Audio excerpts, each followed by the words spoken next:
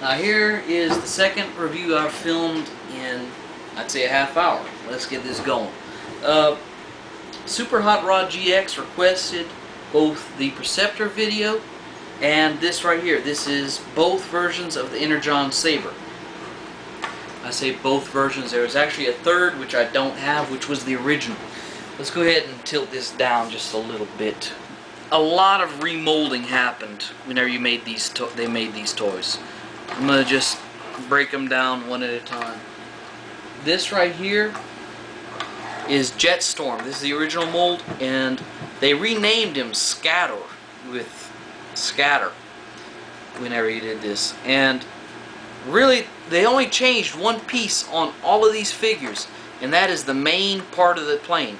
The nose cones are the same, the tail fins the same, all the robot parts are the same, but just that one remolded piece makes a completely different looking figure. And let's see if I can't get something underneath him to make it stand out a little bit better.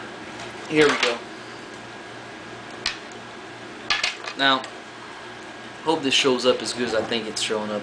Uh, really, I like this. They had a, the first version of the figure was also clear, but it was a clear white. And it, it, it didn't look that good to me. So I, I passed on it and got the more Decepticon themed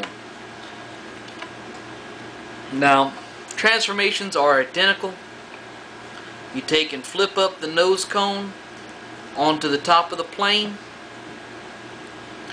The uh, feet come unpegged from the arms.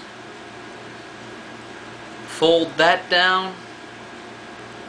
Fold that for, you know, rotate the knees forward.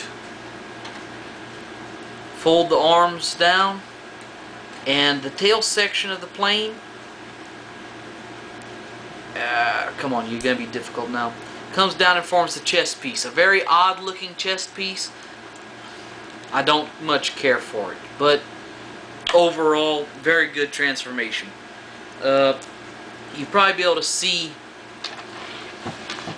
this version better since he's not clear and you can actually see some definition to the figure. Take and fold that out, like I said, disconnecting the ankles from the elbows. Fold these forward and pull the knee off. You know, that, that always really helps the transformation out. You know, a one-legged robot. Everybody loves them. And fold the forearms down. The tail section is going to be more cooperative this time.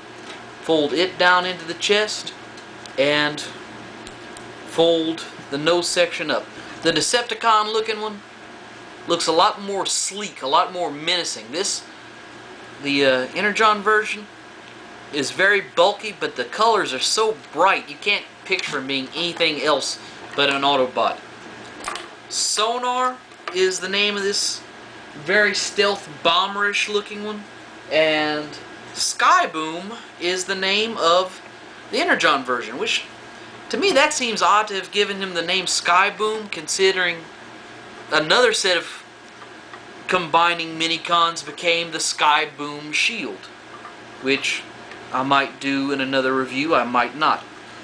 Um, to transform him, take and separate the legs, pull them down like so, they're kind of slotted, they extend rotate the feet forward.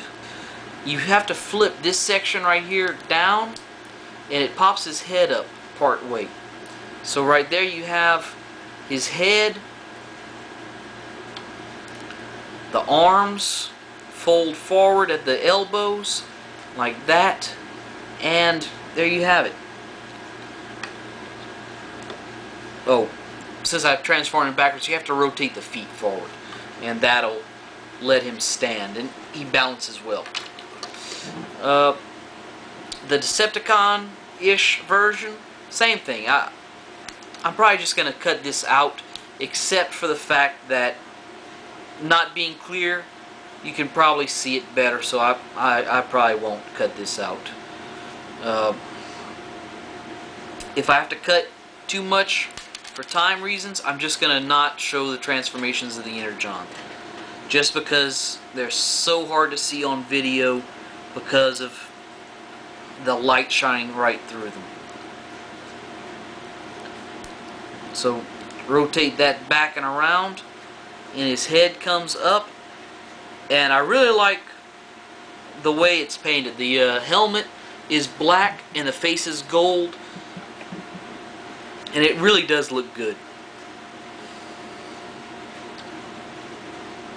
Probably my favorite mini-cons. You know, not Target Master mini-cons that they have. And right here, we have Runway and Wreckage. These are the most dramatically changed of the whole set. This, it looks like an alien ship. I mean, it's just all strange angles, very jagged. But again, the only thing that actually changed was the main portion. The tail section with the jet engines is the same. The robot, everything is the same except for all the jaggedness around here. And this is a very sleek jet, and to go from this to this is just a really big jump. But uh, let's transform it.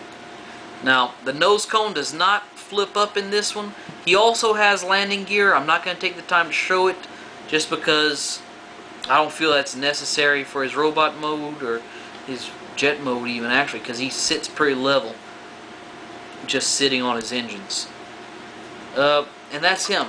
The rear section, the jet portion, becomes a chest piece for him, much like on Jetstorm. And I'm just going to rush through this right here flip that down. It's, it's a very simple transformation, pretty effective, but uh, very simple. Anytime they're standing, they're resting on their nose cones. Alright, we're back. They're back in their plane modes and ready to become the Energon Saber of their respective series. You're going to start off with, on this one, Sonar. Split him in half. Like oh have to extend the legs first. Like that. Now you will then oh my god a spider. Okay. Take and flip his nose section up just like whenever you're going to robot mode. And right here there's a roundish peg that will slot, slot into this peg right here.